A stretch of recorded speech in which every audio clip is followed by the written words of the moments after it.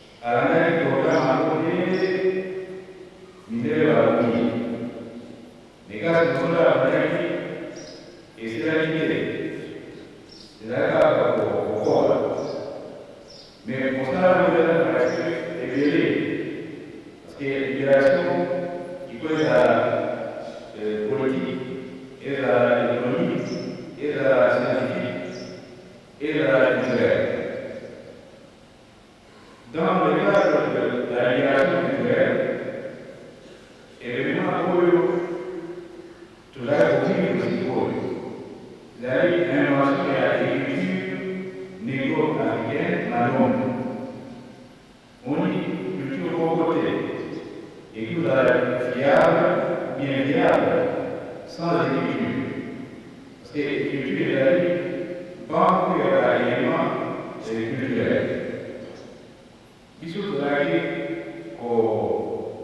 kotanga la culture, la église.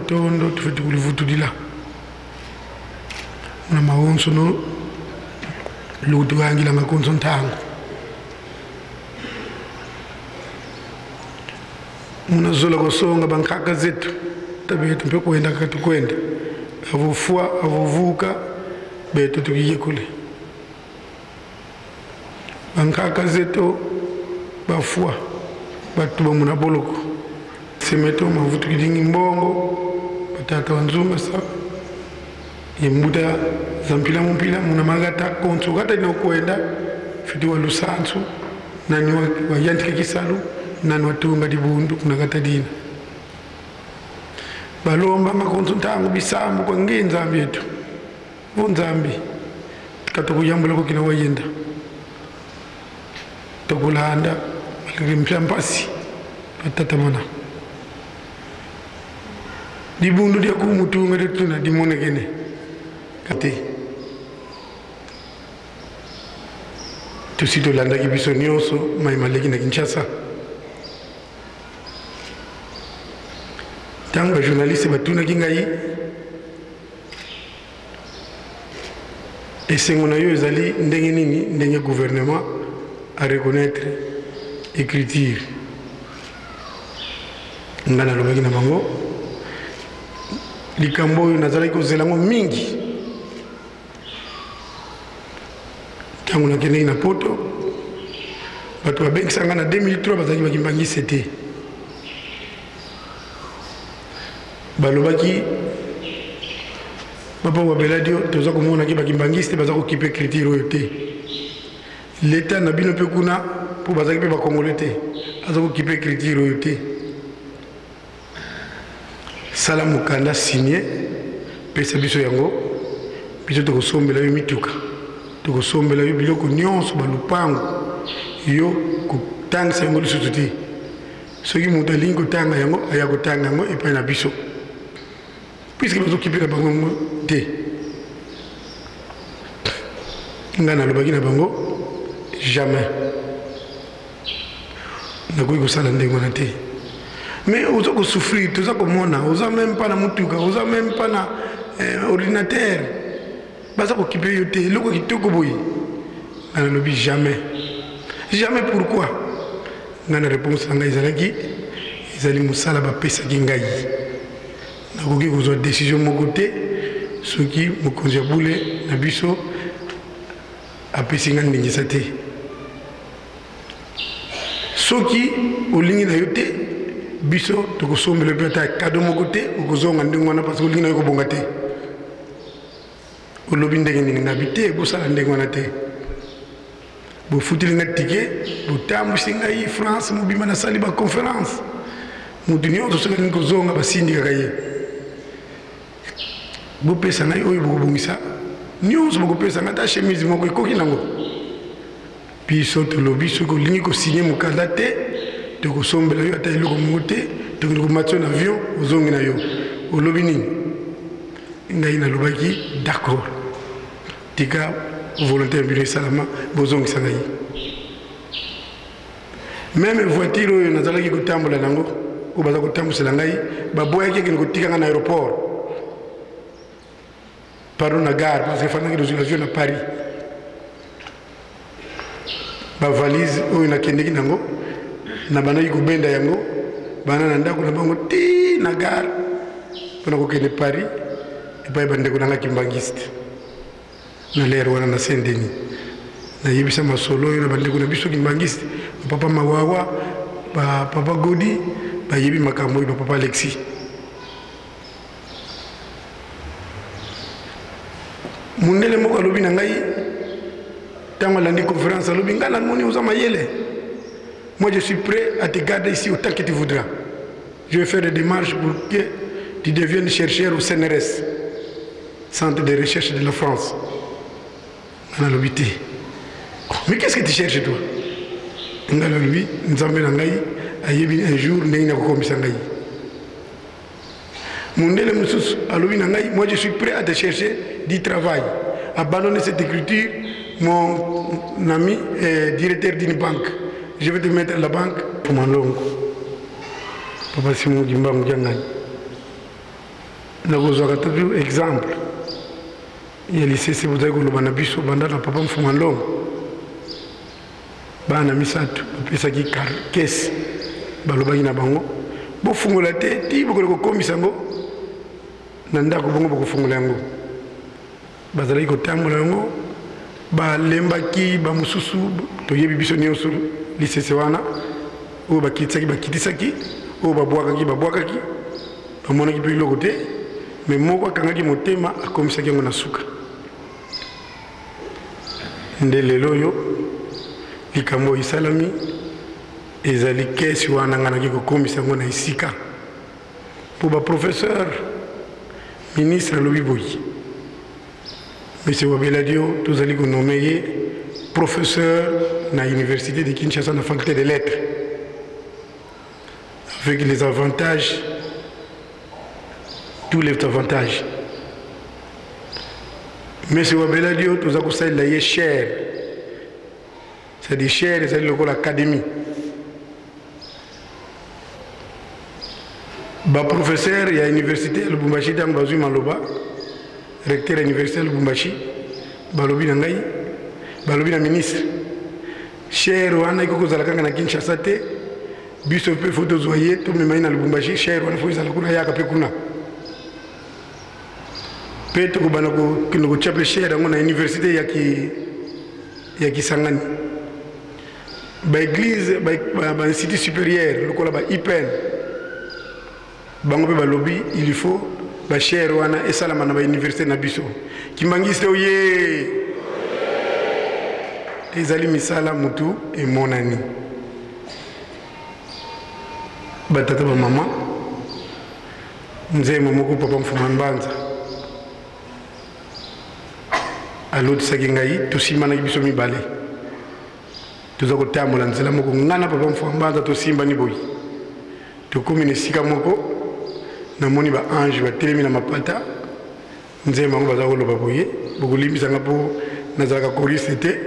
nakosedebileka ndenge nayokelaki yango mokolo wana bana bosimba bapapa na bino bosimba bapapa na bino bana esengo ezali liboso bana bolanda bapapa na bino bolanda bapapa na bino bana esengo ezali libusa mpo na kowela ntango na sisi boyi na nkombo tata mwana mpe mosantu amen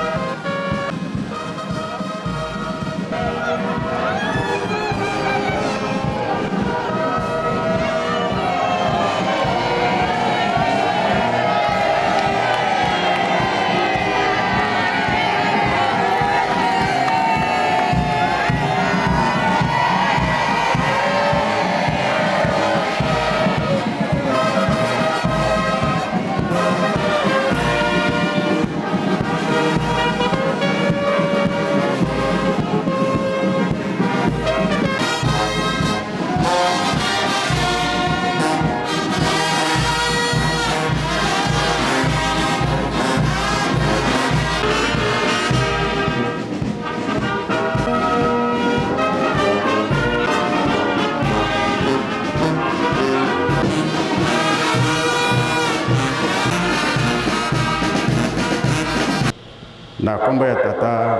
mwana mpe tata molimo santu oyo balobi na biso yango nde tokosalela misala ezali biso bana jeteki toye avant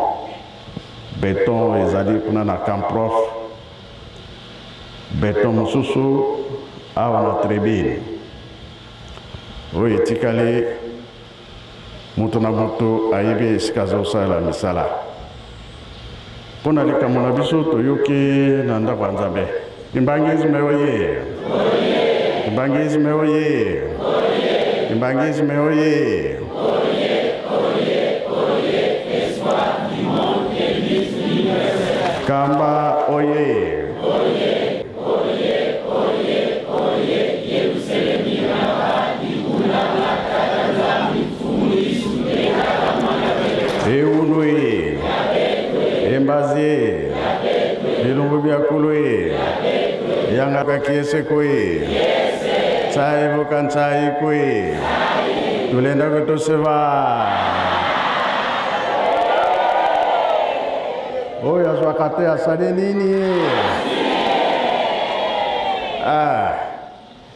ya solo ezalaki mpasi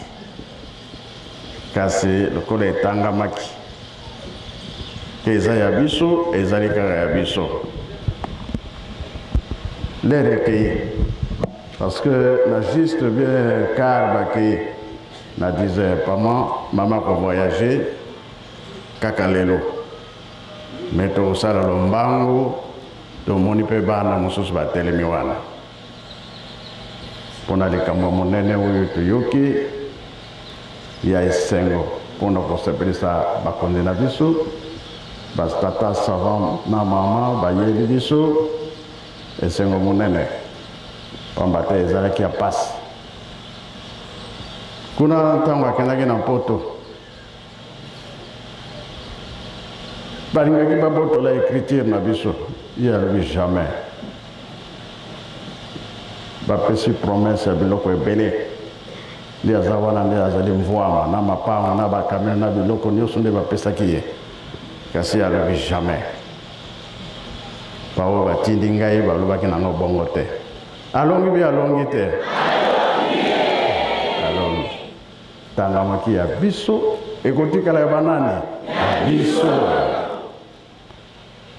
kortopisi merci mingi félicitation na batata na biso ya kisangani bango nde basaleli yango molende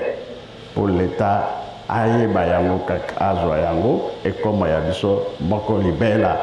mpe entre temps akomi professeur na bango bisika boni batangeli yo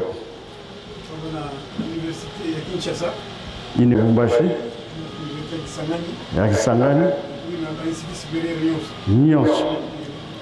kopibalere ebimi makambo nyonso ebimi beta maboko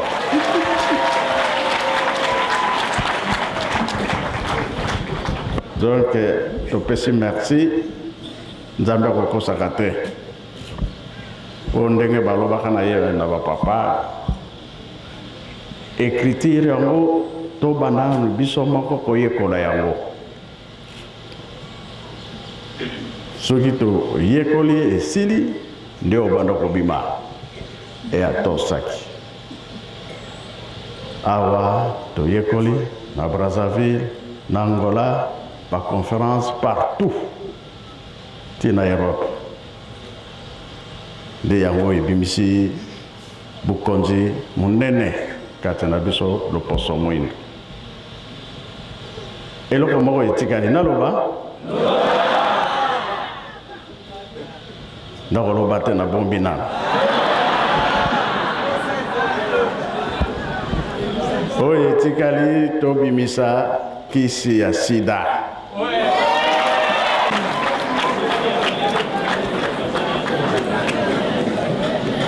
esi wana nyokoli mingi bato bakei ba innocent bazali alors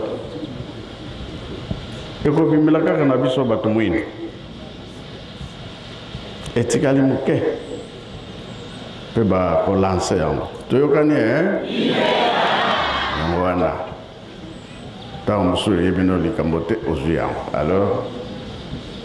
yango tolingi te econtinue papa alobaki fo tozwa yango kaka biso bato mwini tokola bakokende lelo ngai kutu nazwi 10 minutes sino topesi merci na manso bosaleli biso batata professeur mpo tika biso te tokocontinue likambo mazali ebele tokosala bosimba biso makasi mpamba te likambo bosalaki na conférence internationale bino nyonso bozalaki te pesi esengo nde ezali kobota makambo mama kuna na allemagne babengaki ngai ngai alobi ifo aya